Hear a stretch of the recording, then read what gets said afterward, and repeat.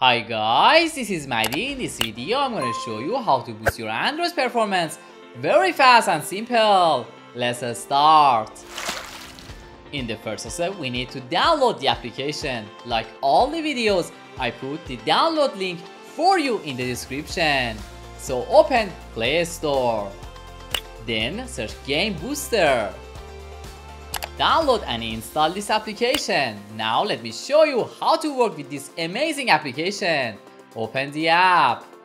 Please check I agree to the term of use and privacy policy and select start.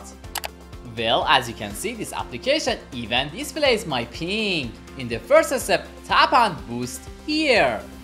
With this, this program detects all the apps installed on my device and increases their speed. Let's go back to menu. Now at this step we have to choose the games that we want to increase their speed. So go to add game and enable any game you want. Return to menu and tap on your game. With this application you can boost your device performance with just one touch and this is the most advanced game booster for optimizing gaming experience and it has also gaming mode Thank you so much for watching this video. See you soon in the next video.